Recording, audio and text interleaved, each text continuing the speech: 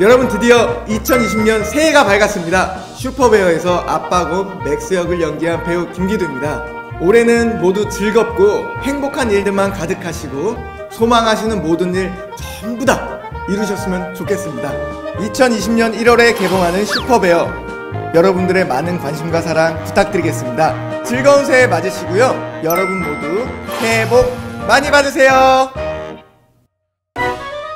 아빠가 수박 벌꿀 샐러드 만들어 왔다. 위험에 처한 아기곰과 숲속 동물 친구들 애니멀 컴퍼니라고? 희귀동물을 불법 거래하지. 초특급 구출 작전 개시 최첨단 장비도 있으니까 나랑 같이 네 아들과 다른 동물들을 도와줘. 색다른 슈퍼히어로의 탄생 네가 언제나 최선을 다한다면 기적이 일어날 거라. 히어로 액션 어드벤처 슈퍼베어 1월 대개봉